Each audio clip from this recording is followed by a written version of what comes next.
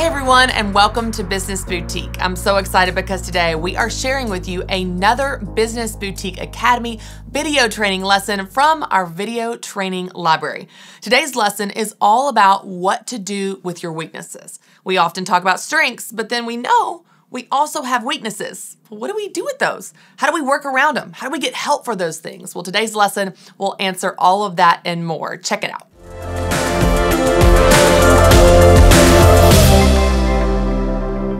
Guys, welcome back. In this lesson, we are talking about what to do with your weaknesses. Now, as you know, I want you to spend most of your time in your strengths, but there are still a lot of things that have to be done that you might not be good at. You're not good at everything, and neither am I. No one is. So we've got to figure out what we're going to do with those areas that we're weak. So that's why in this lesson, I want to walk you through several things you can do to help backfill for your weaknesses. Now, I know when you're getting started in business, you're doing everything yourself. You're, you're doing the startup, you're doing the marketing, you're doing the operations, you're doing everything. So it's easy to feel like you have to stay there. I actually experienced this myself several years ago. I decided that I wanted a real website for my blog. So I decided, you know, how hard can it be? You get a template, you put some colors, some fonts, some photos. Like, it's not a big deal, right? Like, they basically build it for you. Well, it wasn't long before I was sucked into the black hole of building a website. The only thing is, I'm not a graphic designer, I'm not a web programmer, and I had no idea what I was doing. I spent hours and hours trying to decipher and figure out what widgets are and plugins and how to make these codes work and look good, and it still looked ugly. So, after a complete weekend wasted trying to build a website, something I wasn't good at and didn't know how to do, I decided to get some help. And so I want to do that for you in this lesson. I want to teach you some different ideas and resources of what you can do with your weaknesses. That's going to enable you to stay in your strengths and allow other people to stay in their strengths as well. Now, over the years, I have discovered many things that I'm not good at. I'm not good at softball, details, and parallel parking, just to name a few.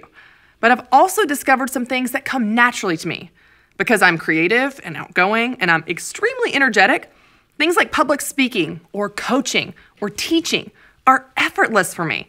However, learning the difference between what I'm good at and what I'm not good at didn't happen overnight.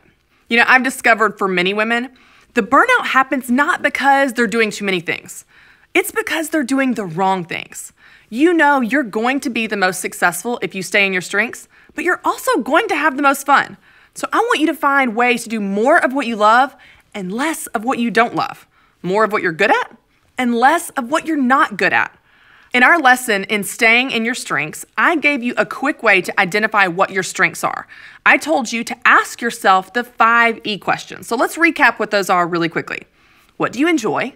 What comes effortless to you? What do others encourage in you? Where do you excel? And what gives you energy? Your answers to those five questions will point you in the direction of your strengths. And that's where I want you to spend the most of your time in your business. But what about everything else? What about all of the tasks that still have to be done that you don't enjoy, that you don't excel at, that are not effortless, and that just plain drain your energy? What do you do with those things? You aren't good at everything, as we know, and I'm not either. But here's the thing you have to still get those things done. So, what do you do with your weaknesses? I want you to find ways to backfill for your weaknesses. So here's how to get started. First, you need to face them. Now, I know facing your weaknesses isn't always fun, but it's actually a great step in building your business. When you're aware of them, you can find solutions for them. I love what Romans 12, 6 says. It says, God has given us different gifts for doing certain things well. Now, while you can't do everything well, you can do some things well. And in areas that you are weak, there are other people that are strong. Staying in your strengths and backfilling for your weaknesses will raise the level of excellence in your business. It's also going to keep you energized for the long haul. You know, over the years, I've discovered several options for getting these difficult things done. And the best part is, none of those options involve you having to do them yourself. The first thing that you can do with areas that you're weak is you can actually barter for help. So you could actually have someone barter services and help you in areas that you're weak, and you help them in areas that you're strong. So you might barter services or products for things that you want or need for your business. You know, this is kind of a crazy example, but I experienced this years ago. I wanted to take ballroom dance lessons. Now, this was right out of college when Dancing with the Stars was all the rage and it was such a big deal. And I thought, you know what? That sounds really fun. Like, I want to learn the foxtrot and the rumba and the swing and the waltz and the tango. Like, that sounds awesome. So I signed up for dance lessons. Well, it wasn't long before I realized that is a very expensive hobby. And since I was just out of college and not even making an entry level salary, I couldn't really afford this hobby. But you know what? I'd become great friends with my dance instructor. He had a side business back then doing fitness coaching, and he wanted to launch this new product. Well, I knew marketing. So I kind of worked out a deal with him. I said, How about this? I will help you market your new project if you will continue to teach me dance lessons. So, hour for hour, we did a trade. He taught me dance lessons, and I was able to help him market and launch his new project with fitness. Here's what's so great about this it was a win win. He had a successful launch, and I got to learn the foxtrot and the rumba and the swing and have so much fun learning some dances. Now, that may be a silly example, but what can you barter in your business? Bartering is always an option. You can save time and money by bartering. Now, remember, you have something to offer that other people need, and other people have something to offer that you need. So leverage that. Be sure to give yourself credit for the talents that you have and don't be afraid to offer them in exchange for the talents of other people. So, bartering is the first option of what you can do with the areas that you're weak. Now, the second option is you can actually outsource. Now, maybe you don't have a mutual friend that you can barter with. You can always pay someone to do what you need. Now, that's called outsourcing, and it's a great way to get some stuff done. Now, before you start objecting with all of your complaints about not having the money, just hear me out. I'm not recommending that you spend money you don't have. I'm not recommending you take out loans. You know I would never do that. Instead, I want you to go make more money to pay for the thing that you're going to outsource. So, for example, I spoke with someone recently who needed help with taxes. Let's say that you, like her, need a tax professional for your business, which you do, by the way. But let's say you don't have the $500 or so it would cost to hire a CPA. I want you to go out and find a way to earn 500 extra dollars doing your thing in order to pay for the accountant. When you do this, you stay in your strengths and you do what you love and you protect your business because you've hired a professional to do what they love and what they're good at. Again, this is a win win scenario. So, paying to have something outsourced, especially those things that are really important for your business, like taxes, is money well spent. Now, in addition to bartering and outsourcing, the third option you have as a solution for your weaknesses is to automate. You can automate some of the things that you spend time doing currently. There are probably things that you do for your business that you don't want to, and you don't have to. For example, other than a few spontaneous posts of family pictures, I don't particularly enjoy keeping up with social media. Now, if you use social media occasionally just for fun to scroll the internet memes and keep up with friends, that's great. But if your business, like mine, is built on social media, then you have to maintain it consistently as a critical part of your operations. Now, because social media is so important for my brand and my business, and because my schedule is crazy and I can't trust myself to keep up with the frequency needed, I just automate it. Every Monday, I write and schedule all of my posts for the entire week. Then, as the week goes on and I get busy writing or speaking or traveling or shooting videos like this one, my social media upkeep doesn't suffer. My post automatically post several times a day, and I don't even have to think about it or worry about it. So, what things in your business are taking up your time, but they don't have to? What can you automate? How much time could you save if you programmed all of your social media in advance? Or maybe you preset your email marketing. Even if you can't automate something entirely, you can save time and energy with the different apps and tools and resources out there. They're changing and improving every single day. It just takes a quick internet search and you can find one that can work for you. You can also ask other women what tools they use in their business as well. That might be a great solution for you. You can streamline everything from billing and invoicing to scheduling and record keeping. And when you systemize parts of your business that you're currently doing yourself, you give yourself a precious gift more time. Now, another option for you is to delegate. You can delegate some of the tasks you're currently doing yourself to someone else. You might be able to have people around you that can help you in those areas. For example, I have countless memories of the cake shop where mom delegated tasks to me even when I was younger. For example, there is a type of border that you make on cakes. I'm sure you've seen this if you've bought a cake. They don't just ice the top and the sides, they do a little border, a little frame or edge, and it's called a shell border. It's a pretty simple thing to learn, and I learned it at the age of nine or 10. So mom would let me put shell borders on cakes. I also remember making boards, boxing cakes, and blowing up balloons. However, I will tell you, I couldn't really be trusted with the balloons because I would very frequently suck in the helium and then talk like a chipmunk, so I couldn't really be trusted with that. But here's the thing mom could delegate to me even as a child. As business owners, I know that we are control freaks. No one loves our business like we do, and no one can do it as well as we can. But that's the problem. We can't get out of the weeds of the day to day stuff and every dang detail of what's going on. We won't even give up things we aren't good at. And as a result, growth slows and the business suffers. Now, if you have some competent and trustworthy team members who can help you, that's going to be the quickest way to take some things off your plate. If you have employees, you can entrust some of these tasks and details to them. Give them instructions and then, without micromanaging them, let them do it. Now, if your team members are not competent and trustworthy, then you've got a bigger problem on your hands anyway. You can even reframe what you mean by employee. Like when I was a kid helping my mom, you might have some cooperative, competent kids at home. So don't hesitate putting them to work filling boxes or sticking on labels.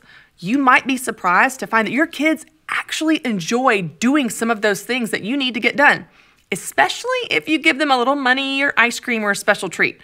And here's a free bonus you actually help your kids by instilling confidence and work ethic. I know a lot of adults who credit their work ethic to being in the family business as a young kid. I know I certainly do. Now, another option is to simply ask for help. Now, this is a little different than bartering or outsourcing or delegating. You're just going to ask someone to help you. Now, I know it can be hard to put your pride aside and ask for help, but I promise you, there are going to be people around you that want to help you. Now, you might be surprised at how many people are willing to lend a hand when you need it. In fact, many people are honored when you approach them for help with something that they're really good at. So just do it. There might be some things you can take care of simply by asking someone. For example, as a part of my planned giving, I give away a percentage of my time to coach small business owners for free.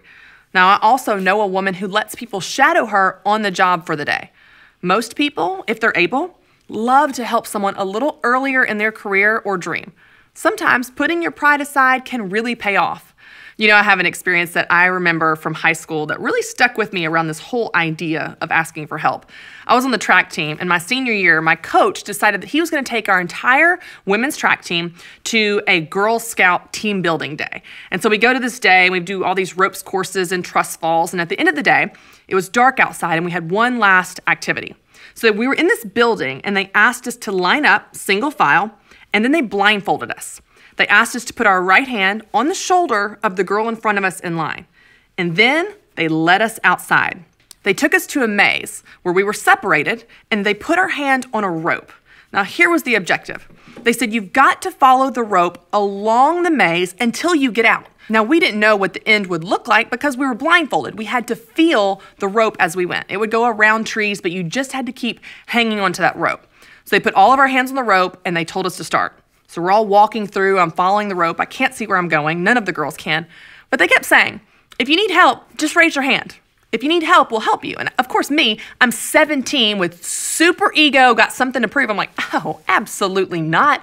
I am getting out of this maze and I am not asking for help. And I'm going to get out first. Well, then I hear someone, Tiffany got out. I'm like, dang it. I've got to find the end of this maze. So I keep going, following the rope, following the rope. I'm getting lost. I'm getting turned around. Can't find my way out. The whole time they're saying, if you need help, just raise your hand. I'm like, I'm not asking for help. I can do this myself. Then I hear more and more names of girls getting out of the maze. Rebecca got out, Tanya got out, Ashley got out. I'm like, what the heck is my problem? How are they finding the end of this maze? Well, eventually, it was down to me and one other girl. And I thought, okay, this is embarrassing. I cannot be last. I guess I'll just ask for some help to get out of here. So I raised my hand. They come over and they said, You're out. That was the way out of the maze, was to ask for help. Now, that clearly stuck with me because I'm still talking about it years later. But here's what it taught me pride really can get in our way sometimes. Sometimes you just need to set your pride aside and ask for help. You never know what help is available to you. All you have to do is ask. As Oprah Winfrey says, you get in life what you have the courage to ask for. Amen to that. Now, the last option of what you can do with your weaknesses is maybe my favorite. It's to simply ignore it. That's right.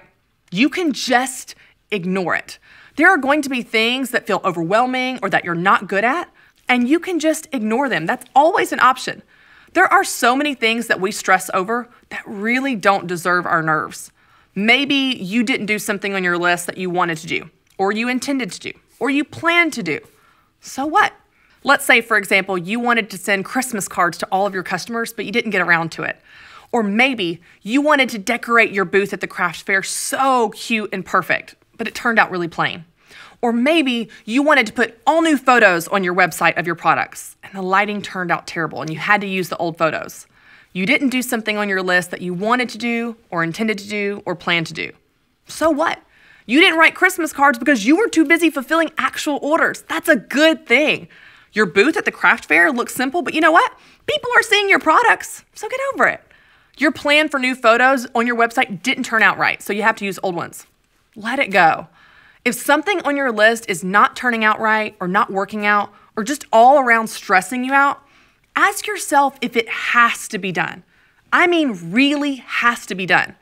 Other than paying taxes, more often than not, I bet it doesn't. You can ignore it and move on to doing more of what you love. So there you go. There are several great options of what you can do with your weaknesses. You can barter, outsource, automate, delegate, and ask for help. And none of those involve you doing those things yourself. And of course, you could always ignore them. So let's put this into practice. I want you to list everything you have to do for your business. And then I want you to circle all of the tasks that fall within your strengths, or maybe they're things that only you can do. For every item that isn't circled, I want you to write out to the side what you're going to do with it. Are you going to automate it, or outsource it, or barter, or ask for help, or maybe even ignore it? If you're going to involve someone else to help you, write the name of that person. And then you've got a list of things for you to do and things for other people to help you with. That's the action item for this lesson. I want you to write out your to do list and then separate your strengths from your weaknesses and write out next to your weaknesses what you're going to do with them. When you apply this to your business, you can do more of what you love and less of what you don't.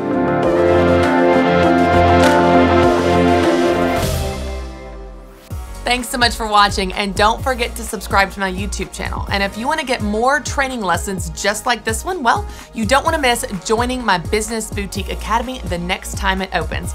You can join our waitlist and find out more information by clicking the link below.